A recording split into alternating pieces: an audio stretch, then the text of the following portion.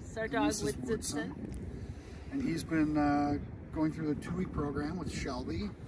Um, he was kind of a hyper jumper, um, misbehaving two-year-old dog when we dropped him off.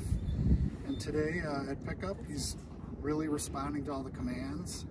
Uh, very well behaved, happy to see us, but he's uh, learned a lot and he seems to be responding really well.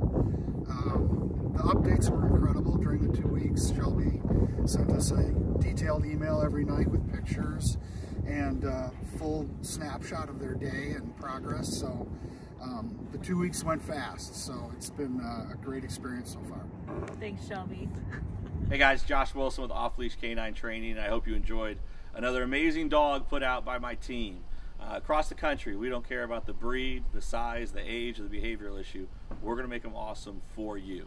If you're interested in seeing more videos like the one you just saw, click the image here on the screen. Also, I'd encourage you to check us out on Instagram and Facebook.